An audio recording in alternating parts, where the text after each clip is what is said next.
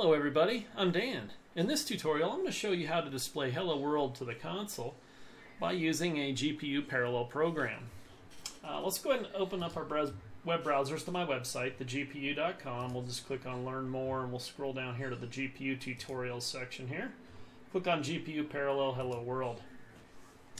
Now this simple program will display Hello World to the console, a little bit more than that too, but the screen output will be produced by the GPU instead of the CPU.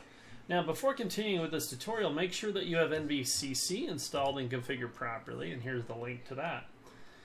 Okay, so uh, what we're going to do is open the developer command prompt for Visual Studio 2015. I'm going to go ahead and uh, move this off screen here. And let's go down here. And Visual Studio 2015 Developer Command Prompt for Visual Studio 2015. Not just any command prompt there. Okay, we'll do cd backslash. Uh, it takes us to the root, make directory, CUDA. I already have that uh, subdirectory, but if you don't, it'll create it for you. We'll change directories to the CUDA subfolder and make a directory here called Hello World. Okay, uh, will change directories to the Hello World folder. We're going to notepad plus plus hello world.cu for the CUDA program there. Proper extension. We're going to create it, yes. All right, um, let's come back over here to my website. Here's where we're at right now.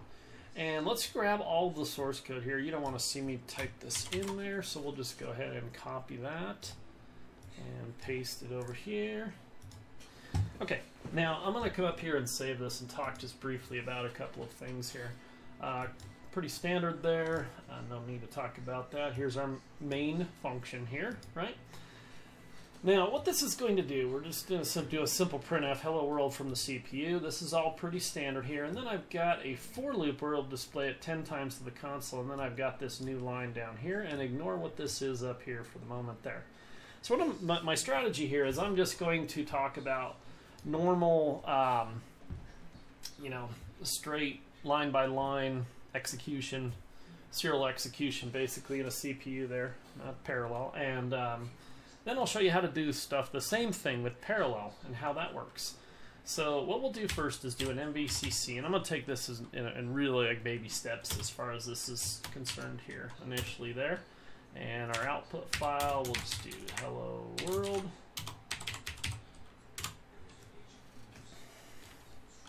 Okay, we've got our Hello World exe. We also have this exp file and a lib file here, and I'll go in future tutorials. I'll go what those are there. So, uh, just executing Hello World, exactly what we would expect. Hello World from the CPU with a new line escape sequence there.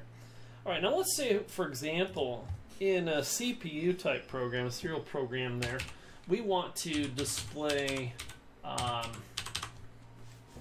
Hello World 10 times, right?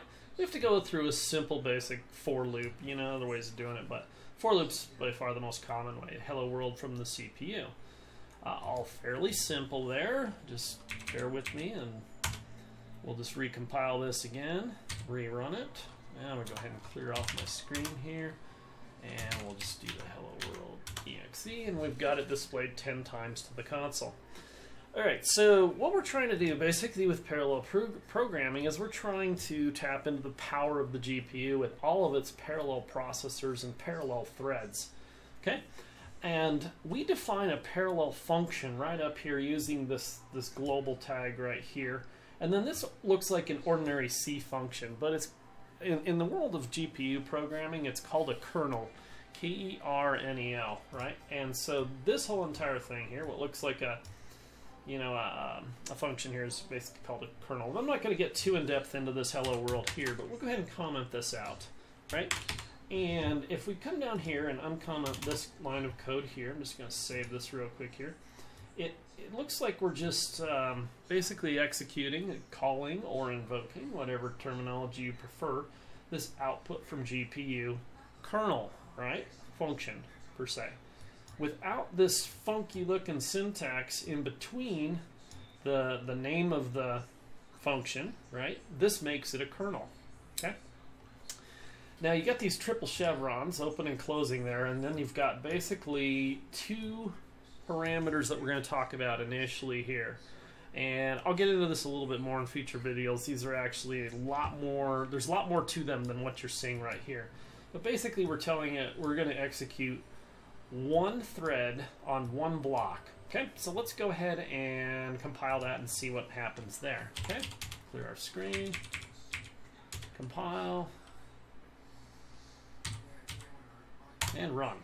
And there we go, we got hello world from the GPU. Now technically at this point in time, you can see that uh, uh, you got what's called host and device, uh, hosts and devices, right? The host is the CPU and the device is the GPU. So the GPU actually executed this code here, but we called it from within the host device because in the main, this is just the standard main function here, the CPU called this.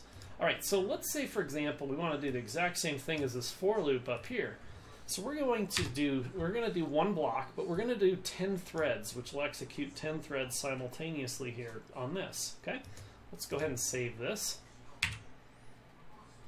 Um, recompile this. And rerun it there. Okay?